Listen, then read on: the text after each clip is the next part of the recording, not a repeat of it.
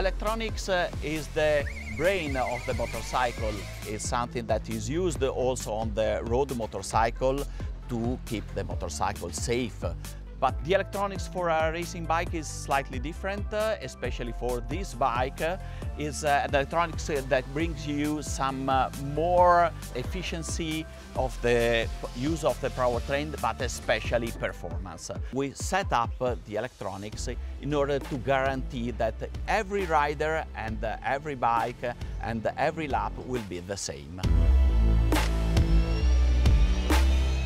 We have several strategies that we developed uh, in the past years uh, that we are using uh, for this kind of bike. The traction control is something that helps the rider to uh, ride in every condition because we can uh, adjust everything on our bike and put different mappings that a rider can change. He can accelerate and the traction control controls the slide, the slip of the bike to get the most, the highest performance. There is uh, another one that is not uh, set by the rider but uh, uh, smart and works automatically.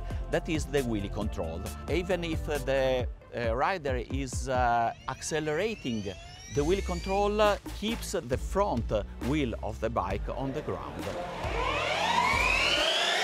The ride-by wire changes the way and the, the, connection, let me say, between the twist grip and the torque delivery to the rear tire. So just imagine uh, if uh, a rider wants to uh, accelerate very sharply, he can do it. On the other side, if he wants a, very smooth connection, he can do it again.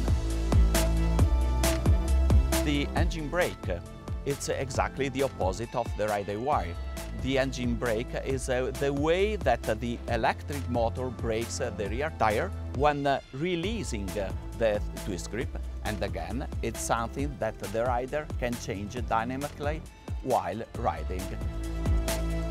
With the electronics, uh, we collect, we store and we analyze a lot of data that are very useful in order to uh, find the best solution, uh, where to go, where, what to change on the motorcycle. Uh, every year we make experience, we learn a lot. Circuit by circuit we are adding little bricks, uh, not only on electronics, uh, and we are already speaking with Dorna in order to find, let me say, a new step, a new evolution of the motor.